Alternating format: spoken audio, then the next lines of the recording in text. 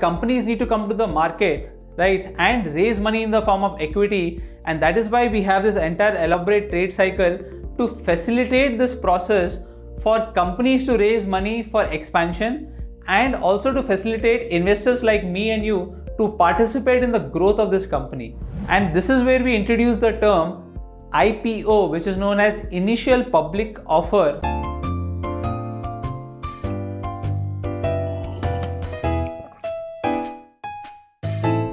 Go right now and click on the link in the description below and register for our course Namaste Money. When the first time a company comes to the market and tells the investors that I need your money to fund my expansion.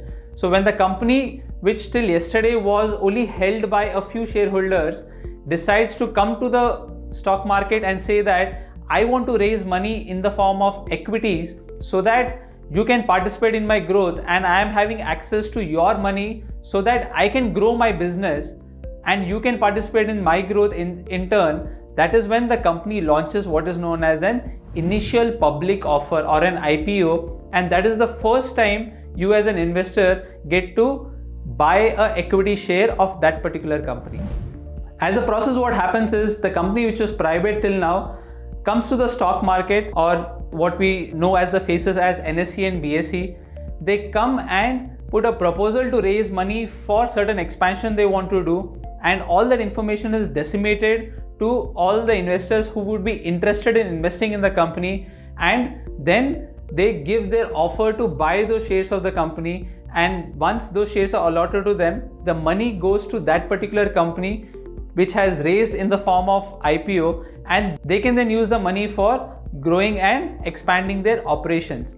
I think it's best if I take an example to run you through this. We are all familiar with the brand name Domino's, which is known for its pizza delivery services. The company that owns the franchisee for selling Domino's pizzas in India, Sri Lanka, Nepal, and Bangladesh is Jubilant Foodworks. It is an Indian food services company Jubilant Foodworks owns the master franchisee rights to set up and run Domino's stores in these four countries. Recently, the company also took up the franchisee of another popular brand in the West by the name Dunkin' Donuts. The company was started in 1996 when it set up its first uh, store in India, but over a period of time, it has grown to the size that we know of today. It was not without a little help from investors like me and you. The company came out with an IPO in 2010 wherein they wanted to raise capital so that they could use that money to expand their operations and also prepay some of the loans that were outstanding at that point in time. Jubilant Foodworks came out with an IPO at a price range of 135 to 145. The reason a range was given is because it allows people to bid for buying the shares of the company depending on what they think the company is worth between 135 and 145. Eventually, the company was able to raise the amount of money they wanted and it listed on the stock exchange, meaning it traded for the first time on the stock exchange for a price of 161 in February 2010. So, if we go back to our investor, that is Arjun, if he had bought a thousand shares of this company at the IPO price of 145, and he would have paid this money to Jubilant Foodworks in January 2010. At that time, the IPO cycle was much longer. It took almost a month for a company to start trading on the stock exchange after they came out with an IPO. Today, the cycle has reduced drastically to less than 10 days. If Arjun would have bid for a thousand shares in Jubilant Foodworks and bid at a price of 145 rupees per share, he would have transferred 1000 into 145 that is 1 lakh 45,000 rupees to Jubilant Foodworks who in turn would have assigned him a thousand shares which would have got credited to his demat account. Now since this is the first time the company is issuing shares, the company had issued a total of 1.1 crore shares and now Arjun had bought a thousand shares so he owns that much small fraction of the total number of shares of the company because he paid that much amount to the company against which he was assigned a thousand shares. After he paid 145 rupees to the company in January, the company started trading on the stock exchange in the month of February. So on Feb 18, the company traded for the first time and it traded at a price of 161 rupees. So you can see in a short span, Arjun actually made a quick small amount of profit on the shares he invested in this particular company. This is the second big reason why companies come out with an IPO. Apart from the fact that they want to raise money from investors, they want their shares to be traded on the stock exchange among a huge multitude of investors so that the real value of the share can be determined. So while the company thought that uh, 145 was a fair price at which the company was raising money, eventually when they started trading on the stock exchange, they traded at a higher price on the very first day. So when lakhs of investors were buying and selling shares of Jubilant Foodworks, those investors decided that or those investors who are nothing but collectively known as the market the stock market decided that the value of the share should actually be 161 rupees and not, and not 145 because of which they started trading at a much higher price. And so somebody like arjun who bought a thousand shares was actually sitting with a small profit of 16000 in less than a month if he decided to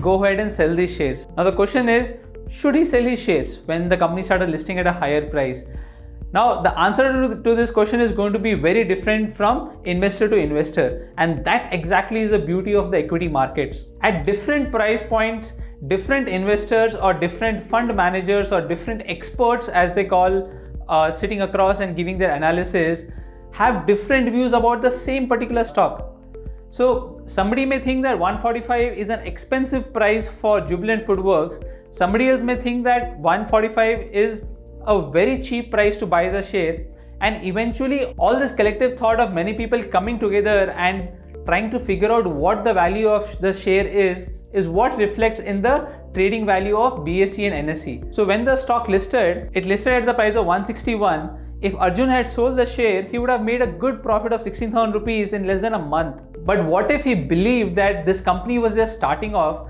it was having only a small number of franchisees and it had a huge growth potential given that we, we as an India are a huge consumer market, had he held on to the shares, then what profit would he have made?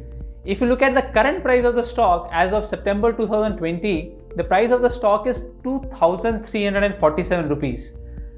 So the value of his shares, which is 1 lakh 45,000, has gone up to 22 lakh 7,000 rupees, giving him a compounded annual return of 32% for his investments in Jubilant Foodworks.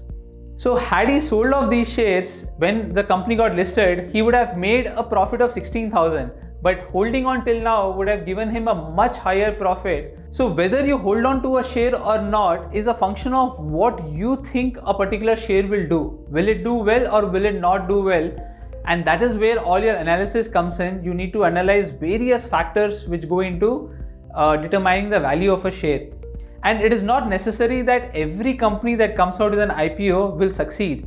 If I give you two contrasting examples of DMart and Reliance Power, Reliance Power came out with an IPO in the year 2008. It was the, if I'm right, the largest IPO at that time in the Indian market.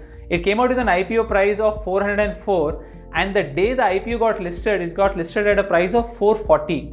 So it seemed at that point of time like a good company which had come out with a IPO raising money for the projects where the company wanted to invest the money was into power generation because that was the time we were highly deficient in terms of the demand and supply of power in India. But if you look at the current price of the share, it trades at a meager 2 rupees 30 paisa. That means we have lost 99% of the value of the company. If you as an investor had put money in this IPO, you would be sitting with a loss of 99% because today the value of the share is only 2 rupee 30 paisa versus a IP of another successful company DMart which is owned by the company by name Avenue Supermarkets Limited. It launched an IPO in 2017 for a price of 295. The day the IPO price listed, it got listed at a price of 600. That is, the value almost doubled in a span of less than a month. The reason being the market participants who were buying and selling the share thought that the share is worth much more than the 295 rupees and that's why they assigned it a price of 600 rupees based on the trades that were done on that particular day. And if you look at the current price of this stock in August 2020, it trades at a value of 2299 rupees, which is almost a 10 times growth in the value of the stock from 2017 March when it came out with its IPO to August 2020.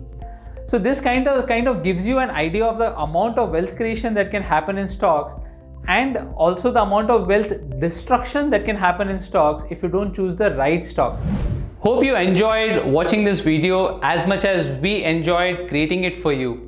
So what are you waiting for? Go right now on the link provided in the description below and register for our course Namaste Money.